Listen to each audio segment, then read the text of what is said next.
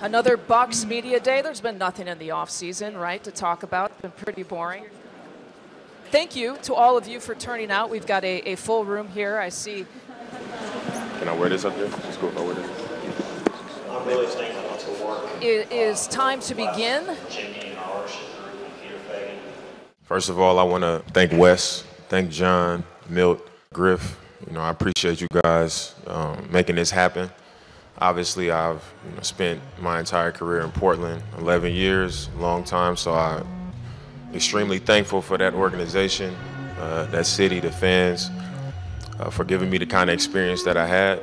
You know, I don't think it's a secret how much I, I want to win, and um, that's how we got here today. And I think they want to win equally as bad as I do, and you know, I couldn't be more excited. I couldn't be more thankful uh, for this opportunity to be a part of this organization, to play alongside uh, the best player in the league. You know, it's going to be fun.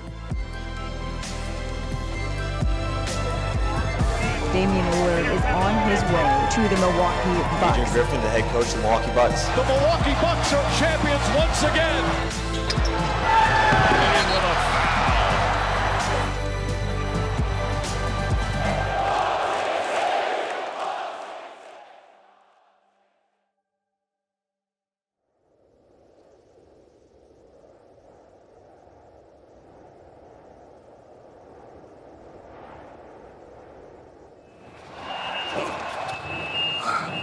I love taking pictures like this. Goes in my collection.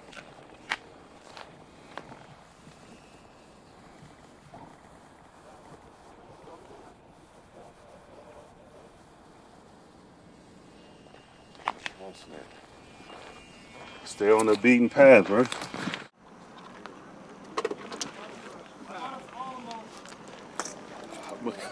Give it E for effort. I'm, I'm gonna give it all I can.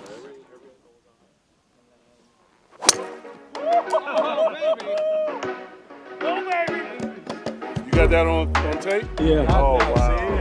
Good. You good. You got it. Birdie on the first hole. That's all.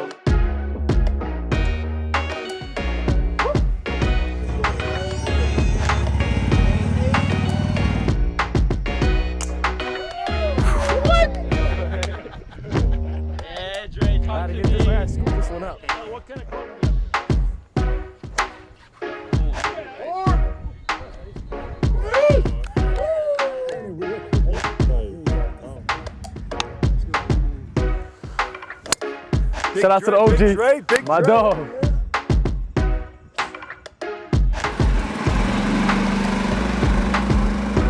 I haven't probably felt this way since I was a player. Just that excitement, you know, it feels like uh, Christmas morning, you know, I'm just ready to tear those presents open, and that's how I feel about our team. I'm just ready to dive in, get to work. I got one more. It's, it's a lot of excitement in there, and, and it should be. We have a grand uh, opportunity in front of us, and uh, we want to make the best of it. It's like the first day of school, you know. You're excited, come in in the best shape that you can, ready to learn, and that's where you set a tone, knowing that it's a marathon and you're not going to win the first day. Just got to figure out how to do it together, and each day, try to keep making those steps in the right direction. The foundation is strong here, and I've said that from day one. I wasn't trying to come in to uproot things and start from scratch. I just wanted to add to it, but at the same time, you know, from day one, we, we got to treat it like it's day one and take the first step and the second step, get ready for training camp, have great practices, and get ready for that first game. You know, I was actually on the team preseason roster, and I was going into my 10th year, so I was super excited. But unfortunately, Scott Skiles called me and he said, "Hey, I tried to fight for you, just couldn't make it work. But why don't you, uh, you know, join my roster?" He told me take a couple days and think about it. Every athlete will tell you it's hard to hang up the sneakers, and it, it was very difficult. But athletically speaking, you can only play so long before your body says no more. But with coaching it, you can take it as far as you want. It's up to you. There's really no no ceiling. I'm excited about, you know, the new chapter we're stepping into. I'm excited to play for him. It's a great opportunity for him as a first-time head coach to come out here and uh, prove himself. He's a, a first year head coach. You know, that energy's irreplaceable. You can't get anywhere else. It's special and unique. Thank you all. I appreciate it. Hey, make sure you get a piece of that back there. Just hearing all the stories about how he was as a player, uh, it's no coincidence that he's able to get his job uh, as a head coach. Him building that bridge of connectivity with player coach, it's been great. Doesn't matter who you are. You might be a rookie, you might be a vet. Like he goes, come talk to you, make sure he acknowledge you, text you, reach out to you, call you. Like I love that uh, about him. That's all you can ask for from a coach is to hold every single guy from one through 15 accountable the same way. And he's done that since he's been here. He was a leader as a player, and he's going to be a leader for us. I know for the offense it's tough, but when we get in the game, it's going to be easy. Why? Because you've already practiced. I think he's going to do a hell of a job. I think he's going to do great with us. The opportunity to coach Giannis, Khris, Brook, just to name a few, it's every coach's dream. These opportunities don't come along every day. Seems like he's excited, he's eager, uh, ready to get this thing going, and so am I.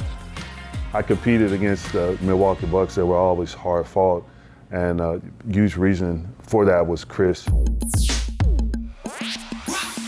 Welcome back, Khris Middleton. Khris Middleton steps back from the corner. Wow, that looks like good old Khris. But backdoor cuts. Not gonna miss that. Middleton on the catch and shoot. Nice spin and the reverse. Khris Middleton. It's all straight away up top. Khris Middleton for three. Boy, he's been good tonight. Really? Is that what we're doing now? He's one of those unique players that you can't put smaller guards on him because he can overpower them. Middleton, little turnaround. That one's good. Middleton taking over here to start this fourth quarter. He's got that look about him. The bigger players, he could take them on the perimeter. He can get a shot off. Middleton getting some extra run here. You know, he's always poised, always under control. He lets his game do the talking. He always kind of calms the team down. So having him back and healthy is invaluable for our team. I didn't want to go anywhere else. I think a lot of people knew that, including my teammates, including ownership, front office, coaches. We wanted to stay here because one, family, the camaraderie, and then just we want to win. This is the, a team that's you know built to win now, and I felt that we could do it. I was happy that we got a deal done. You know, I'm extremely grateful to be here.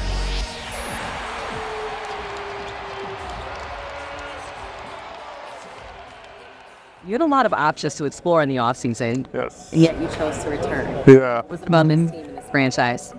I think it's the best place to win a championship. But, you know, most importantly to me are just the relationships I carved here with my teammates, created family for life here. And, you know, those, those guys I'm out on the court with, they're, they're truly brothers to me.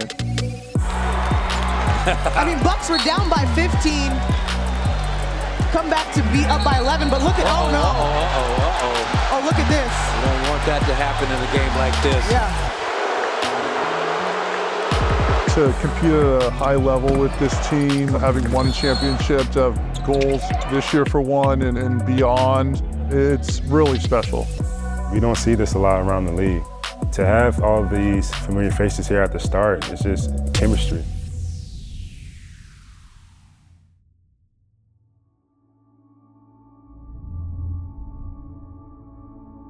88 days ago, Damian Lillard requested a trade out of Portland, and today he is on his way to the Milwaukee Bucks. Blockbuster deal that lands the Milwaukee Bucks and Giannis Antetokounmpo, All-NBA guard Damian Lillard. It's about to go down. A new dynamic duo in the NBA set to activate in Milwaukee. Dame time has come to Milwaukee, Wisconsin. Now you're going to have Giannis and Dame. It's going to be Shaq and Kobe like. They fit together perfectly. Where do they rank in the East in your eyes? We should be talking about where they rank in the league. And not only do they, Lakers got their favorite, damn it, I do too. The Milwaukee Bucks are the favorite going into the season. This is a big, big, big time day for the Milwaukee Bucks. I just got home from training. At this point, I'm thinking I might not get traded before training camp. You know, I might just have to wait this out and figure out where I'm going because they probably won't want me to come in, you know, knowing that it's going to be a trade. So I literally go up to my man cave. I plug my phone up on the charger. I open my phone up. I'm like, man, let me look on Instagram right quick. And literally, as soon as I opened up Instagram, it's a boxing platform that I follow. So they post a picture of me and Giannis. And I see it and I'm like, I thought it was speculation. But as I was like sliding down to like click on like the rest of the caption, my agent called me. Like right as I was looking at it, and he said, they traded you to Milwaukee. And I was like, really? And he was like, yeah, you going to Milwaukee. Like, it's gonna be Milwaukee. And we hung up, and I kind of sat there and I was just like, my first thought was like everything I was leaving behind. I've been on this team 11 years. My whole family almost is like living here. My mom, my brother, my nephews, my cousins, my best friends. Everything is right there. So I started thinking about everything that I was leaving behind and it was like, it made me a little sad. Like, man, you know, life as I've known it for over a decade is like about to change. The next thought was like, this is happening for a reason. Like this might be what it was supposed to be. Pat Connaughton I played with is on the team. Robin Lopez I played with is on the team. And then my friends and my brother and my cousins was like, you know, you about to play with Giannis and y'all got this person and y'all got that person. And I was like, I think this is like what it's supposed to be, you know what I'm saying? And I started to get excited and then I walk into a rally. There's no denying just the pure hype for Bucks fans when that trade was announced on Wednesday. Now today, around 5,000 of them came out to support Dame's first official appearance here in Milwaukee.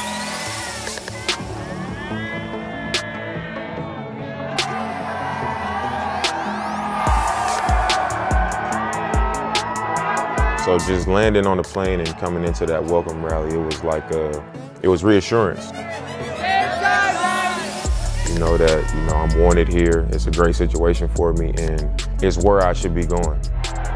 You know, it's what I should be doing. I'm excited. I feel like this is this is where I'm supposed to be right now.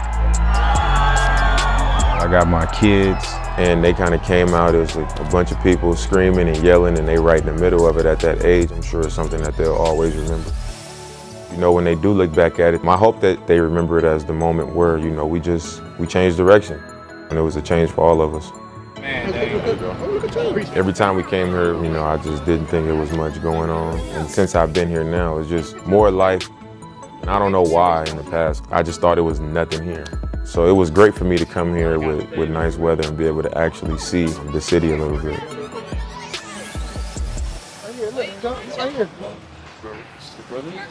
All right out there?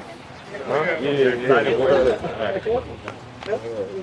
Great to have you there, man. I'm still in like I've never been traded before. I don't know what they look like. it's crazy. If they doing that, I can't imagine what it's like if you actually win. No, it, it'll be good. Don't worry about that. Where I am from like a maturity standpoint is like, you know, I need to be in a great basketball environment. I need to be in a focused environment. Uh, that's cool.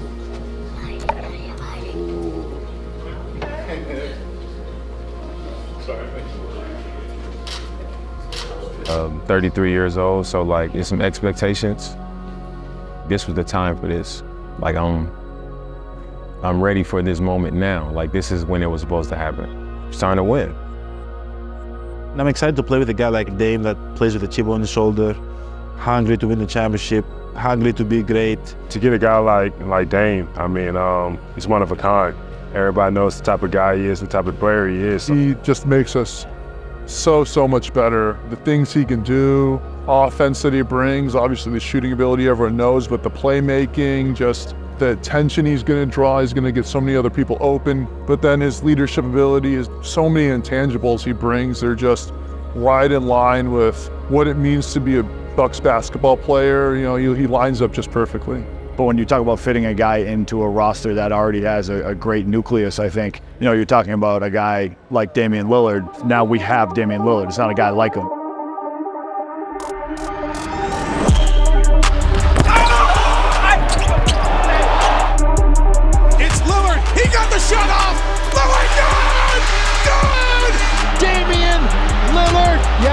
That's what he's saying. It's game time. That's right. It's game time.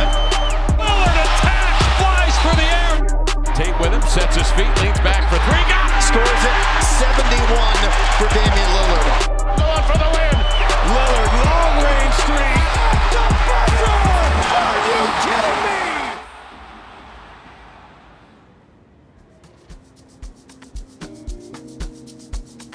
love for Damian Lillard to step up here and introduce him to the Milwaukee Bucks organization. You know, I couldn't be more excited. I couldn't be more thankful uh, for this opportunity to be a part of this organization, to play alongside uh, the best player in the league. You know, it's going to be fun. And uh, the hospitality that they showed, my family, we touched down to a parade. My first time getting traded. so you don't know what to expect, you know. So to walk in to something like that was special. Um, it was a, a, great welcoming, and um, you know, it's, it's something that I really appreciated. It only made me more excited to be here and more excited to get to work. So, you know, I'm thankful. Having a guy like Dame on the team, it's um, it's unbelievable. We kind of be moving under the radar and now, you know, with this kind of move, it brings a lot of, uh, you know, attention to the team and there's a lot of hype around the team. Yes, it looks good. It's, a, it's an attractive thing, me and him playing together, the kind of team that we have, but the work has to get done. And, you know, I think that's one thing that we're extremely like-minded about. You don't win a game, you don't win the championship by making a move. You win the championship when you're the last team standing. So we got to get better from day one. Got to be focused in training camp and then kind of build habits from game one to game 10 to game 50 to game 80.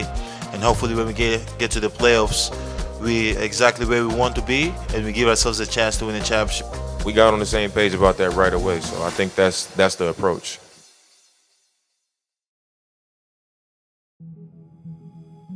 When I got here, there wasn't much buzz around basketball. That's one thing I'm proud to see over the years, the buzz and the energy that, you know, people have when they speak about the Bucks. The city has been behind the team, and I feel like there's so many people now that they uh, attached, emotionally attached to this team. So I'm happy that I'm part of that. I'm happy that I'm part of uh, the city of Milwaukee involving. Guys want to be a part of this because they feel it's special. Just seeing all these good players and everybody going about their business as professionals, like on a championship level, you see where they've been and why they've been there. Not just the players, but the organization as a whole. It's just a, it's a different level. This is the standard for everybody. You know, this is what it is for everybody. So I'm, I'm super excited about that.